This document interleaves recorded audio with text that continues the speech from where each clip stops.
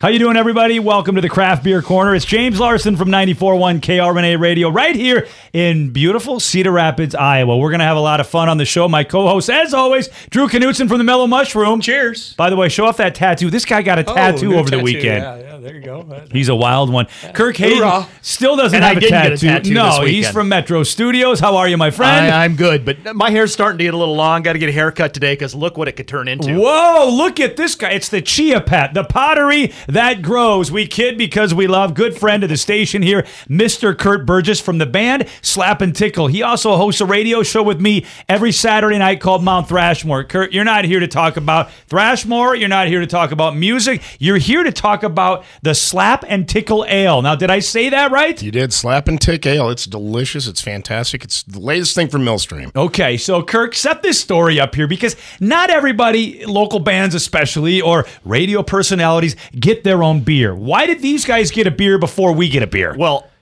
good question, uh, which brings us all together today. Um, But I, you know, we talk all the time about how how organizations and stuff are, are, are pairing up with breweries, Right. And they're and a brewery might make a beer for an organization or whatever. This is an example of a brewery right here in good old Eastern Iowa, a brewery that's been around longer than all of them. Oldest in, in brewery Iowa. in Iowa, I believe. Yep. that really, I mean, from my perspective, stepped out of the box and made a beer for a band.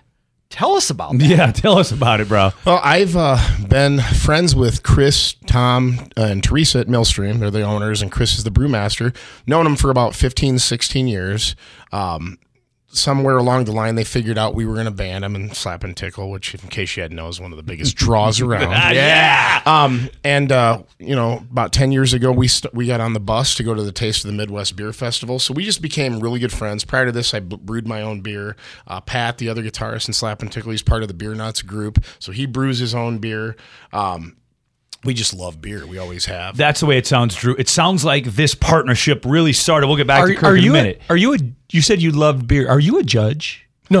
no. I, I should be. Hey, too soon, brother. Too soon. But anyway, it sounds like that's what happened. Just a nice little partnership between uh, a bunch Yeah. of beer aficionados that basically got together. Drew, I know you're excited to sample this. well, I am, and you know, down at the Mellow Mushroom, we have a brewery that uh, uh, brews a house brew f- for us. So to to Kirk's uh, point, the the brewers are, are looking for these type of connections, and uh, they named it after your band, which I thought was really cool. The only thing we're missing uh, is the spandex uh, that, that the band is really known for. But but let's stay at the beer, the Slap and Tickle Wheat Ale. The slap, Slap and and tickle tick. ale. Slap and Slap tick. and Ale. tick. Tick ale. Okay, Slap and tick ale. What I want It you is to a, do- It is a wheat ale by by category. And uh, here, cheers. Let's give it a Yeah, try. why don't we sample and then uh, Kurt, if you could just kind of tell everybody really what's on the palate, what folks can expect if they, if and when they try this, and then we'll go ahead and go around robin and we'll we'll go ahead and rate it for you. Uh, you know, our, our fan base, our demographic is generally uh, 35 to 50 year old women. Um, and My kind of room, let me tell you. And when, when we brought the idea up at first, Chris was like, "Oh, we'll do this milk porter thing, and it'll be." And I'm like, ah, "Our crowd is just not going to drink that." They're Yeah, they're, they're they're showing up with a thirty pack of Busch Light or a Coors Light, Bud Light Yeah, type of thing, pack of right? Marlboro so, so right, James's world. Yeah, Absolutely. I mean, I wish I was there right now. And, I, and I know much. I know Millstream well. I know they don't make beer like that. So we wanted to do something that uh, wouldn't uh, force Millstream to kind of change their their thing. I mean, they're not going to make a beer like that. Not because they can't. It's because they don't want to. They're, Right. It's not their style. They're very very traditional Yeah. German type of brewer, right? Yeah. no matter where you're watching this show from, you know, we all love local, no matter where we're from. And so, yeah, being here in Eastern Iowa, Millstream, oldest brewery here in, in Iowa, Amana, in the Amana colonies. And it's a German style Yeah. of, of brewery is what uh, is is what Kirk is referring to. Yeah, and. Teresa Albert, let me tell you, she knows her beer. I hosted a a panel a few years ago for Entrefest down in Iowa City, and it was all about craft beer and folks opening up businesses, you know, around craft beer. And she blew me away, Kirk. Just her knowledge of of Yeah. beer, just in general. And uh, let's be honest, Teresa's a pretty cool person as Oh, well. she's probably the nicest person you'll ever meet. Cares so much about her customers. Cares about her her distributors, her clients, everything. She just wants everybody to be happy. So this beer, Slap and Tick, this took them a little bit out of their comfort zone as a brewer to come up with something for your customers. Absolutely. That's kind of cool. Yeah. We wanted to we wanted something that our fans would drink, but wanted something that would stay true to what Millstream was. I, I'm you know, like I said, I've been drinking beer for a long time, love it, and I know you guys do too. I like people to get out of their comfort zones and try other things. My own brother wouldn't come to our shows at Millstream because he didn't like if he did, he'd bring a six pack of Bud Light with him. But so I wanted a beer that those guys would be willing to try and say, you know what, I don't have to bring something else. I can drink this during your shows. And so far the guys have loved it just as much as the girls. Now, how does this work? Okay, so you guys do a show at XYZ location. Yep. All right. Obviously, they're not selling this beer regularly there. Right. How does that work? How, Well, they're not selling it regularly yet. We're working on changing that. I think the original idea was uh, they wanted to just have it at the venues that our band was playing. But then, as as this kind of went on, you know, before it was even done, sight unseen, tailgaters had said, "Well, we want to carry this at our bar."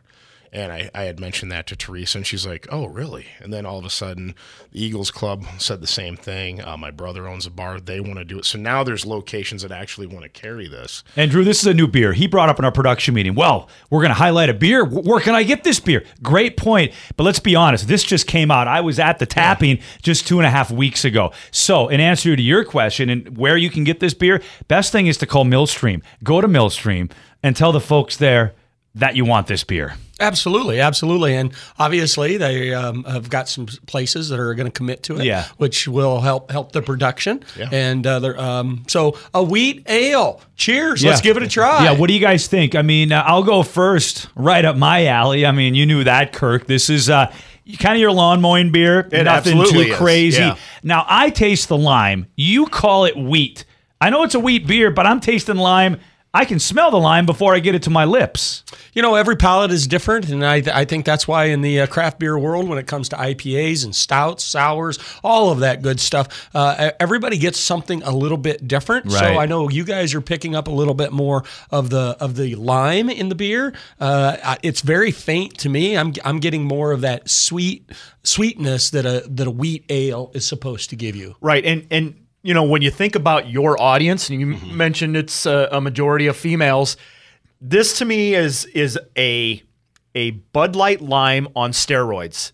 I, I don't like Bud Light lime. No, I don't I either. like this beer, and it might be, have a really nice appeal to those females that like that Bud Light lime type of beer. And it's I like it too because I'm just like you. The Bud Light Lime, it's a little too much for me. So this is like just a better version of that, and uh, I think they hit it out of the park. That's for sure. Yeah, I will say this is the third version that we did of this. Okay. The original one was just pure. I mean, you could taste. I mean, it was so limey. Right, It was right. so limey. Like a margarita. Yeah, almost. Yeah, right. And it was it was so limey that it was almost a filling beer. So we had them dial it back, and then we had them dial it back again, and then we finally Pat and I tried this one, and this one was as far as we were concerned. Yeah, it's good, good stuff. And I know a guy that's got a pizza place. So I'm thinking maybe I can talk to this pizzeria owner.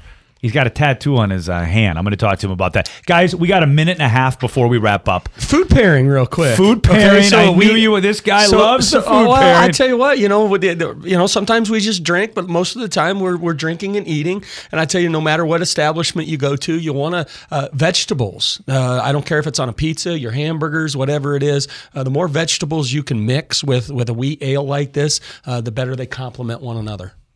There Yeah, you go. there you go. Or uh, uh, or some nachos at a concert. Right. Yeah. Last question for you. Where, where do you get your split ends cut? Do you go to cost cutters? I mean, what? Where, where do you go? Because I mean, that is that's quite the do. Our producer Danielle, she told me in the production meeting she's a little envious. Well, when your father is Zeus and you're born like a demigod, you don't ever have to do your hair. So All right, brother.